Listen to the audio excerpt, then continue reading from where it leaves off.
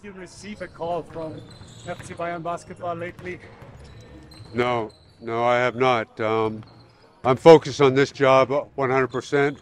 I was a little bit disappointed I didn't get a call for the for the football team, but they didn't reach out. No, but we're excited to watch the German football team play, and um, and um, it's, it's been very interesting too for our team to watch them and be a little bit of connection with them. So it's been very interesting. Problem is, we have practice Friday at 6:30. I might have to I might have to change practice on Friday because I think I, if I go to practice, we'll have the.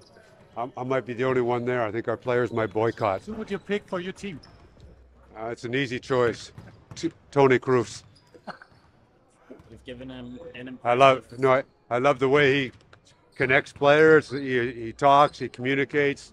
Hands, mouth. I mean, he's he's uh he's like a quarterback out out on the floor and uh, out on the pitch. So um, for me watching the game. That's an easy easy answer.